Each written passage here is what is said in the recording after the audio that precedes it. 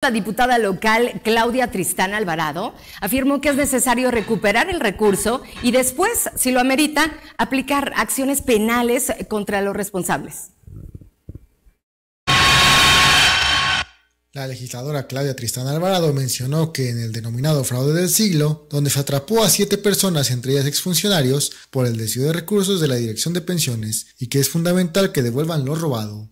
Bueno, lo que nos comentaban a nosotros desde antes por el tema de las auditorías, el tema de las auditorías, eh, ni siquiera eh, los involucrados de la Junta, de la, de la propia Junta de Pensiones lo conocen, era algo que nos comentaban por fuera, porque estas auditorías se están llevando a cabo, pero no se sabe qué han encontrado, cómo han encontrado o, qué, o quiénes son los actores.